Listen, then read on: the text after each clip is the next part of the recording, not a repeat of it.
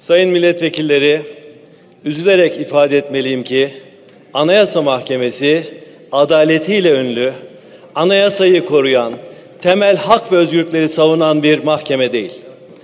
Özü itibariyle sarayın atadığı ve neredeyse bütün kararlarında saraya dikkat eden, sarayın ağzının içine bakan bir mahkemedir. Biz Anayasa Mahkemesi'ni olağanüstü hal kanunu hakkında e, kanun hükmünde kararnameleri yeşil ışık yakarken görmüştük. Ve demiştik ki adım adım Türkiye anayasasızlaştırılıyor. Olağanüstü hal koşullarında anayasa yapılıyor. Mıntıka temizliği yaptıktan sonra bu ülkeye ucube otoriter bir rejim dayatılıyor dediğimizde ve bir gün Anayasa Mahkemesi de ilga edilecek dediğimizde buradaki beyler dinlemişlerdi.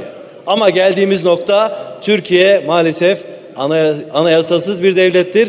Bilerek ve isteyerek anayasasızlaştırılmıştır. Değerli arkadaşlar ne de olsa Anayasa Mahkemesi henüz çay toplamaya gitmedi. Yargıtay, Danıştay biat etti ama Anayasa Mahkemesi zaman zaman adil kararlar vermektedir. Zaman zaman hukukun kırıntısı Anayasa Mahkemesi kararlarında zuhur etmektedir.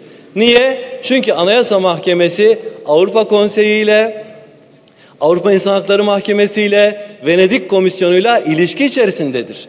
Uluslararası evrensel hukuk ilkelerini rahatlıkla ayaklar altına alamamaktadır.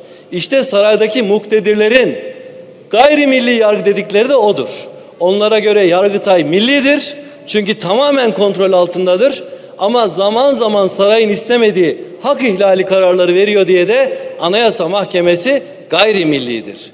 Değerli arkadaşlar, Can Atalay kararı Anayasa Mahkemesi'nin kararına Yargıtay'ın uymaması, Yargıtay'ın seni tanımıyorum demesi ve hatta Anayasa Mahkemesi üyelerine suç duyurusunda bulunacak kadar ileri gidebilmesi, meclis başkanına iş öğretecek kadar cesaret göstermesi, anayasal düzene meydan okuması asla kabul edilemez.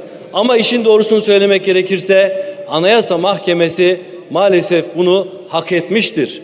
Bu duruma müstehaktır. Ama biz Cumhuriyet Halk Partisi olarak demokrasiye inanan bütün güçler olarak anayasadan yanayız. Yeni bir anayasa yapılana kadar, demokratik bir anayasa yapılana kadar anayasanın her maddesine uyulması gerektiğine inanıyoruz ve bunu savunuyoruz.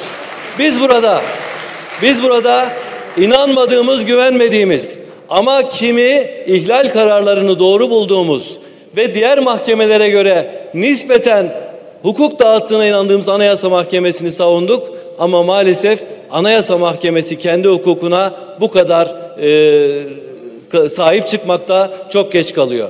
Bakın bir dezenformasyon yasası geçti en son. Bizi dinleyenler bu konuyu yakından biliyorlar. Eminim ki Anayasa Mahkemesi raportörleri, genç hukukçular da dinliyorlar. Böyle bir yasanın içinde öngörülebilirlik var mı? Belirlilik var mı? Bakın bir savcının eline veriyorsunuz istediği gibi istediği yerde istediği kişiyi tutuklayabiliyor, yargılayabiliyor. En son Tolga Şardan örneğini yaşadık.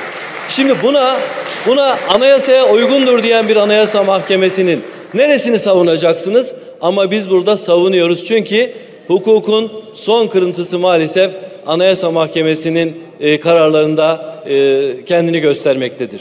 Değerli arkadaşlar, yepyeni bir otoriter rejim inşa ediliyor. Bu rejim inşa edilirken Anayasa Mahkemesi'ne de aslında ihtiyaç yok. Belki şeklen kalacak ama Anayasa Mahkemesi'nin şu halinden bile rahatsızlar. Birazcık hukuk kırıntısı gördüklerinde anayasa ya da anayasanın yargısına da kararlarına da uymuyorum, saygı da duymuyorum diyenler var. Hatta Anayasa Mahkemesi kapatılsın diyen muktedirler var.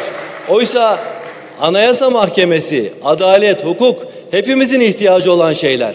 Bakın anayasa üstüne yemin edenler, anayasanın üstünlüğü üzerine yemin edenler anayasa e, anayasa mahkemesi kararları çiğnendiğinde, anayasal düzene meydan okunduğunda, Yargıtay tarafından böylesine anayasa ayaklar altına alındığında yapmaları gerekenin tam tersini yaptılar ve o da yüksek, bu da yüksek. Ne var canım biz Yargıtay'dan yanayız dediler. Yepyeni bir otoriter rejim inşa ediliyor.